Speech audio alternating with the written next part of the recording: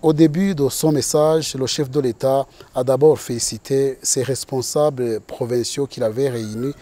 pour la confiance investie en eux par l'administration centrale. Il a par la suite exhorté ses leaders à jeter de temps en temps un regard rétrospectif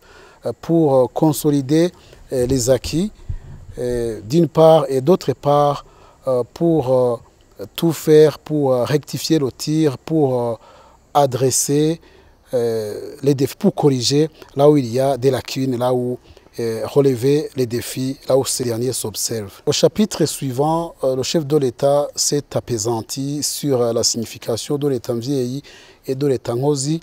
et sur la façon dont ces administratifs doivent marcher sur les traces de ce gouvernement. Selon le chef de l'État, ces administratifs provinciaux doivent se considérer comme des points focaux du gouvernement et par conséquent, ils doivent veiller à ce que personne ne s'arroge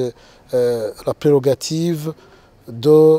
privatiser la violence symbolique. Seul le gouvernement, seul l'État a le monopole de la violence symbolique.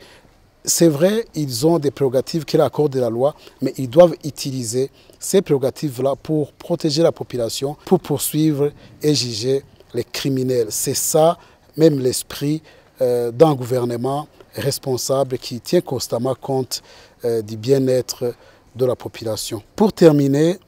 euh, la séance d'aujourd'hui à Kayanza, le chef de l'État, exemple à l'appui, a prouvé à ceux qui participaient à sa réunion que le Burundi a tous les atouts et que le Burundi euh, peut redevenir un havre de paix, un havre de justice et de prospérité, à condition que tout le monde euh, s'engage à conjuguer les efforts et à travailler pour euh,